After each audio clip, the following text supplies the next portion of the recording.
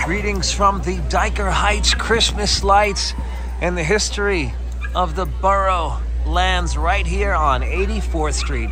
This is the home of Lucy Spata, and this tradition started back in 1986 with some of the decorations that are still out today. It was 40 angels that Lucy put out on the front lawn to honor her mother. Newer decorations have been added, and the tradition continues, and it has spread down the block. Actually, it has spread through the entire neighborhood. And one of the things that you can see on a warm night is happening right now, right across the street hot chocolate. People come out of their house and enjoy time together when most people are inside in the cold. And if we walked all the way down 84th, you'd see a plethora of lights. Some of the lights are to raise money for muscular dystrophy, and some of them are just to bring people out of the house for the Christmas season. It's a quick walk down 84th Street. We got the hot chocolate and popcorn truck out.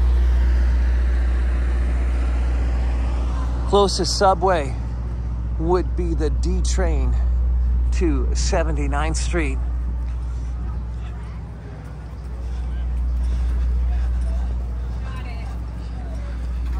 Started my evening a little bit earlier.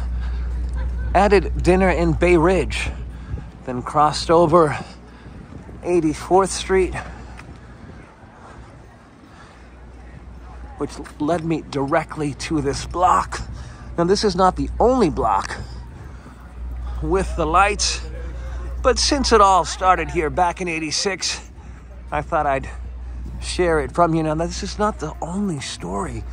Prior to 1986, the Frank Sedio House in Canarsie, the last stop on the L train, also in Brooklyn, has a wonderful Christmas lights display.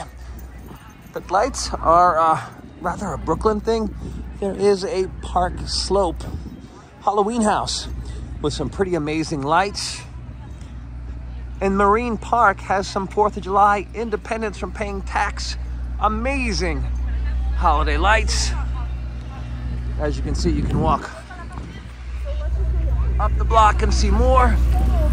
And that is just some of the lights on 84th and 11th. Till next time, Buena from Dyker Heights, Brooklyn, New York.